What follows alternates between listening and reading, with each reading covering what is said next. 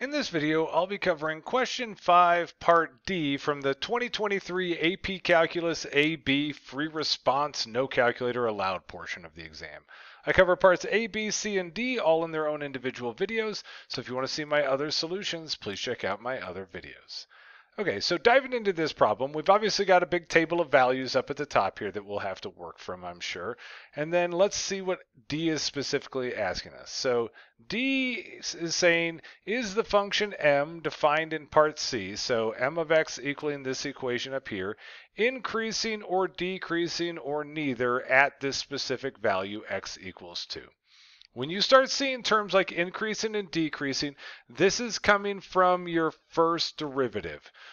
Whenever you see increasing or decreasing, that's bells and whistles should be going off that we're talking about our first derivative. So from that, what we know is if our first derivative is equal to some positive number, we don't even care what the number is, we just care that it's positive. That tells us that the graph is headed up and increasing.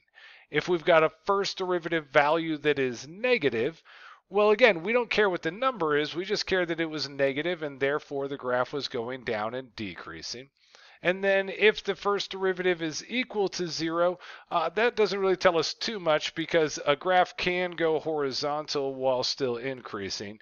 Uh, that's the graph of x to the third. So odds are what we're looking at on something like this is increasing or decreasing.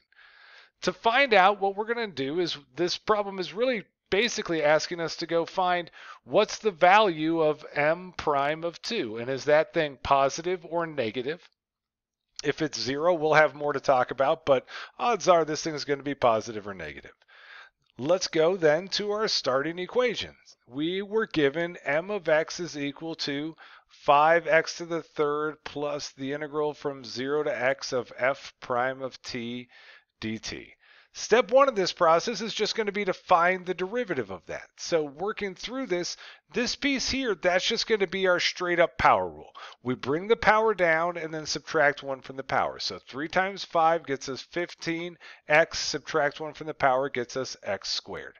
When we go over to the second part of that equation, though, what we see is this integral. And we see an integral with this equation, this x sitting up inside here. This right here, when we come to take the derivative of it, this is your fundamental theorem of calculus part one. Bells and whistles should be going off whenever you see that you need to find the derivative of an integral, and that integral has some equation sitting up inside here.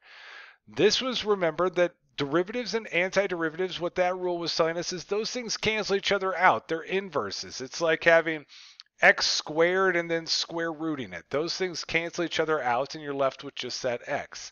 Well, here, derivatives and antiderivatives would cancel each other out, and what ended up happening from our fundamental theorem of calculus part one was the x just dropped down in there. So the derivative of that piece is just going to equal f prime of x. The x just falls into this f of f prime of t equation. Now that we have our derivative, now we need to go plug in 2 to see if that thing is positive or negative. So m prime of 2 is going to equal 15, plugging in an in for x, everywhere I see an x I'm plugging in 2, plus f prime of 2. So 2 squared is 4, 4 times 15 is going to get us 60, plus f prime of 2 we're going to find from our table.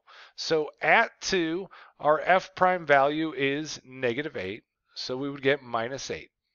Cleaning that up, we end up with m prime of 2 is 60 minus 8. That's 52. We didn't really care about the number specifically, we just care that this is positive. So m prime of 2 is positive. And that tells us then that our graph is increasing at that point. So m is the original function increasing at x equals 2 because m prime of 2 is greater than 0. And we're done. So from there, we would have ended up getting out three points on this. We would have gotten out one point from telling them what the actual derivative was. We would have gotten one point for getting out this actual value right here. And then they like to have you wrap it up with some justification, and that would have gotten us our third point. Thanks for watching my video. If you liked it, please click that like button and subscribe. And also share it with your friends and anyone else you know who might be crying about an upcoming AP Calc test.